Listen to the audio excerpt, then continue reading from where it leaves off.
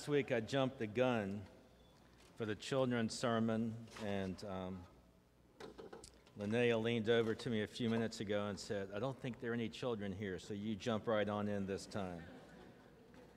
She's just really messing with me here. Somebody this morning said, Well, we're surprised. We didn't think you'd stick around for the whole week. And well, what do you know that I don't know? Though I must say, last, yesterday Sharon and I went to the store and bought some vegetables to plant in the yard. So we'll at least be around long enough for them to grow. And bought some herbs, some annuals, and we bought some perennials. So um, hopefully that's a good sign of, of, of a good and long relationship that we have. Today, I'm beginning a series, and uh, Chenda will be tying into this when she preaches as well and it really follows last week's scripture, uh, the whole idea of when Jesus was feeding the 5,000 and there were all these people to be fed, and all they had was this measly little gift of a few fish and loaves of bread, and there was no way this little bit could feed so many. And Jesus said, Here, give it to me. And he gave thanks. And it was in the giving of thanks that the miracle began, and the food fed everyone so that they had their fill. Today, I'm going to follow up on that with a series Who is Jesus in His own words? Who is Jesus in His own words? And the clue that I, we are looking for is in John's Gospel whenever Jesus begins a phrase with, I am. I am. I am the bread of life, which is what we will cover today. This whole sixth chapter of John that Shannon read a few moments ago is about bread. It begins with that feeding of all those people with bread and loaves of fish. And then the disciples were so amazed at this experience, they wanted to know more. And so they began having this conversation with Jesus. Tell us about this bread. Where does this bread come from? What is this bread like? How can we have this bread? How can we have this bread all the time? And Jesus keeps saying, No, the bread I'm talking about is different. The bread I'm talking about is like the manna that fell from the skies upon the Israelites when they were traveling through the wilderness those 40 years between their time of captivity in Egypt and their time of liberation in Canaan. Every night the manna would fall upon the ground, and when they got up, they would harvest it, and it would only be enough for that day. Not too much, not too little. It was enough to meet their needs. And Jesus is saying, I am that bread. I am the one who comes and fills you like the manna. I come to give you exactly what you need. And the people, they can't think of what they need, they think of what they want. And they love bread and they want to be fed, and their stomachs are growling. No, but we want the bread that you shared yesterday. We don't ever want to go hungry again. Please, just stop talking up here. Give us the bread. Show us the money, in other words. And Jesus goes on, says, No I can't do that because what I'm offering you is more intangible, it's more spiritual. Even the manna that you thought Moses gave the people, that came from God. That wasn't anything any one person did. And that's what I'm offering as well. A type of food that will fill you up and you will never go hungry again. You could eat until as long as the day is long and you'll still eventually die someday. But what I'm going to give you, the food that I give, will see you through to eternal life.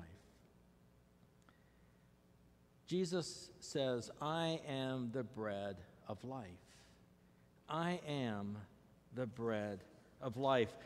Now, some commentators look at this and they say, that what he's really talking about when he says he's the bread of life, and because he mentions manna in this encounter, that for Jews, manna is often related to the Word of God. It's the Word of God that, that comes from God that sustains us and feeds us and nourishes us. That that's probably what Jesus was meaning, that he as him as the bread of life is God's Word, and in fact, He is God in the flesh, that He comes to this earth. and that in knowing Jesus, we know God, and, and Jesus feeds us in that way with a type of food so that we will never go hungry. Martin Luther King Jr. once preached a sermon on this scripture, and he says that the church possesses three loaves of bread loaves, bread of, of, of faith, hope, and love. A, a, faith that is extraordinary, a faith that is contagious, hope that gives people the courage to live another day, and a love that is extravagant, a love that goes beyond what is just simple or expected. In, the, um, in one of our general conferences back in 2008, one of our bishops preached on this scripture, Bishop Ernest Lyght, and he said this about this. He says that, Wake up, church, get up, church. When men, women, and children knock on the doors of the church, they are looking for fresh bread. They want to encounter a vibrant faith. They want to embrace hope for tomorrow. They want to experience extravagant love that includes them.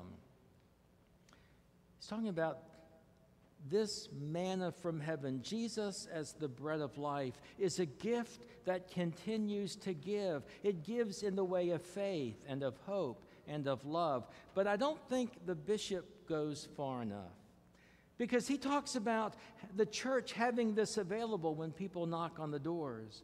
And I firmly believe we need to throw the doors open and let the world know we have this. And this is not ours, this is God's, and we don't possess it, we share it. And the only way it really grows is if we share it. I have not yet experienced the community assistance that we're going to have on July 20th, if I'm not mistaken, the third Saturday. But that's an example of Mount Olivet throwing open the doors. It's not enough just to say, if you really need it, come knock on our door and we'll let you in and we'll give it to you. No. We throw the doors open and we say to everybody, This is going on. Come on and bring your friends. We're going to feed you. We're going to have time together. We're going to have many hours together. That's sharing Jesus as the bread of life. This past Easter, on a lark, well, we had several weeks to plan for it, we gave every worshiper in my congregation $5 on Easter Sunday. Hundreds of people, we gave everybody $5. If only half as many showed up, we could have given them $10. But hey, who's complaining? And I, and I said to them, this money is an investment. I want you to do two things. I want you to invest it and grow it. Grow this $5, make $10, make $20, make 50, make 100. Just grow it. And the second thing, invest in this community. You know what they did? They did some of the most incredible things. I had no idea what they would do. Several of them decided they were going to get together on Friday nights, one Friday night a month and they would pool their resources and they would go to a local laundromat and they would offer to do people's laundry. They paid for the laundry, they did the laundry, they played with the children who were there because so many of the people there didn't have homes and they, they had small apartments or they didn't have ways really to look after themselves. And this became their ministry. And others in the congregation and the community began to hear about this and they began sending them money and now they've got hundreds of dollars because of this. Somebody else works with the Virginia Home. The Virginia Home is a place in Richmond, it's a residential facility for disabled adults. They get dental care from surrounding dentists, except on holiday periods, especially around Christmas. They needed several thousand dollars to pay for a dentist and to arrange transportation so that the residents could get dental care during that time. This person had the idea. She began to invest it. She began to sell it. She raised the thousands of dollars within a few weeks to be able to do that. That's what it means when Jesus is the bread of life. This past Wednesday, I went out to Winchester with um, JP, the Jeremiah Project. And I had a wonderful time visiting with our middle schoolers and talking with them about what it was like. And for those who had been before, you know, they knew all the stories, they knew the ins and outs, they knew what to expect. But the first timers, one of them came up to me and said, This was the best week of my life. This is by far the best week of my life. And I said, Why is that? And he said, Because I came here. I didn't feel very good about myself, but I came here and I didn't even know what I could offer. But I dig holes for posts and I can paint with a paintbrush and I can build a ramp. And even when we're not working or when we're working, the people who live there, they come out and we just visit and we have time with each other. And I realized all these other people in the middle school group, and I feel so small compared to them, but I can do the exact same thing they can do. And I can give as much as they can give. This is the best week of my life. Here is somebody who gets it who gets what it means for Jesus to be, to be the life, the bread of life. It's, it's, it's, to, it's to let Jesus live in you in such a way that you live it out in your own service toward others. And in doing for others, in serving others, in praying with and for others, you in turn are fed back by God in a very deep in a very real way. That's how God's grace works. The more you give it away, the more you get back. The more you give, the more you receive. If you really want to have the best week of your life, it's not getting, it's giving. It's giving. The Body of Christ, given for you.